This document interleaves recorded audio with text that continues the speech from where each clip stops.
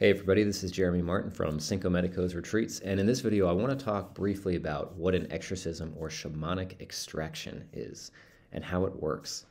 To most of us in the Western allopathic world, exorcisms remind us of self-titled movies and witchcraft, of voodoo spells and crackpot ideas that only your great-great-grandmother would have believed. But let me tell you, as someone with a background in both academia, organic chemistry, economics, psychology, you name it, I've studied it. And as someone with a background in shamanic cultures, I can safely assure you, both from my first and secondhand experience, that exorcisms or shamanic extractions are in fact very, very real.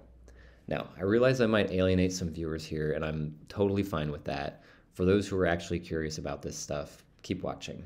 So, how do we explain this bizarre phenomenon to a rational Western mind?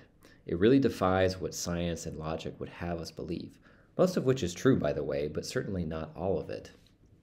Well, sometimes, in fact, very, very rarely, after someone has experienced a traumatic event or series of events, PTSD or CPTSD, there remains a deep and dark energetic signature or stagnant imprint which has more or less taken control of the person.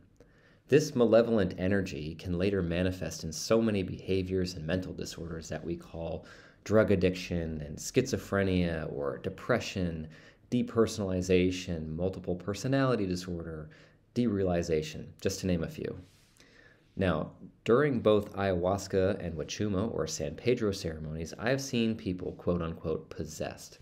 And when the shaman or facilitator or maestro, whatever word you want to use for it, leading the ceremony would go over to that person, they would then use certain tools, spiritual technologies, to first find and then identify the source of the possession, then extract it from the person very methodically, almost scientifically.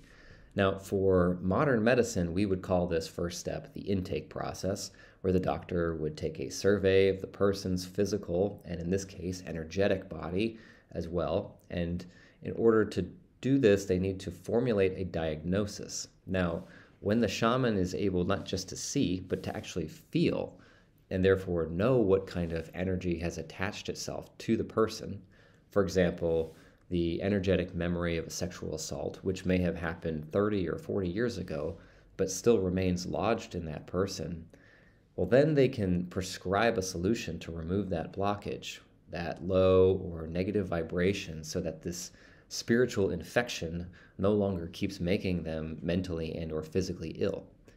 In shamanism, oftentimes under the influence of a plant medicine or a trance, when the practitioner visualizes or feels this energetic distortion, sometimes it's an entity, a personality, a dead spirit or interloper, which has kind of been squatting in the person, almost without their permission or without their knowledge.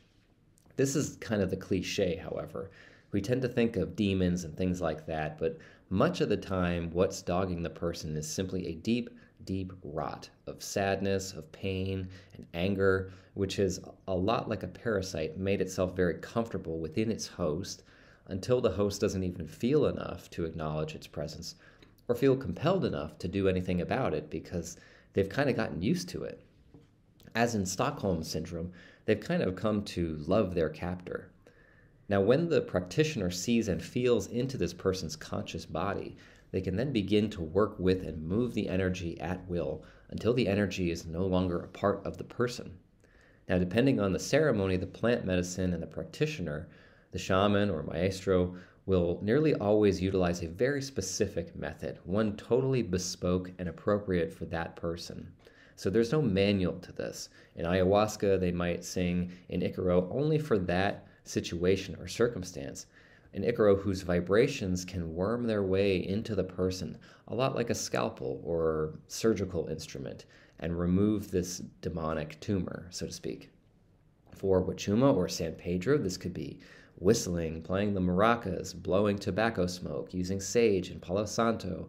Sometimes it's blowing with a feather, Sometimes it's a cold plunge. There are many, many different techniques that you can do. Now, sometimes it also involves sucking out the vibratory distortion or entity. It really all depends on the person, the practitioner, the medicine, and the source of the possession, how long it's been there, and things like that. Now, if you're a participant in a ceremony or the actual practitioner, him or herself, you'll likely witness this black vibratory knot depart from the person as the extraction or exorcism is being done. I have done this personally, and I have seen other people do it multiple, multiple times. For the person on whom the exorcism or extraction is being done, it's usually not a pleasant procedure at all. Quite the opposite, in fact. I've heard people scream so loud you could hear them from half a mile away. I've also seen people sob and cry for hours or thrash around wildly because usually whatever was in there doesn't want to leave by its own volition. It kind of has to be snake charmed or seduced out against its will which can be a very, very intense thing to do, see, or be a part of. All this is to say that there is absolutely zero doubt whatsoever in my mind that exorcisms and shamanic extractions are both real and really work when properly done. The issue is there's practically no way to teach this skill. It must be understood directly from experience to be fully known and mastered. Many people may claim they have the ability to do this but lack it, which is why there's understandably so much skepticism and mockery about the practice. It's also good to be open minded, sure, but also have a healthy degree of skepticism, at least in my opinion. I can only say that a small drop of people really have this art nailed down to a true science. I certainly don't. But the ones who do, now these are really the truly powerful people, the true masters, the onayabo, a Shipibo word which translates roughly to the ones who know. Anyway, I hope you guys have liked this video. Please like and subscribe. And if you're interested in shamanic ceremonies, please visit cincomedicos.com for more information.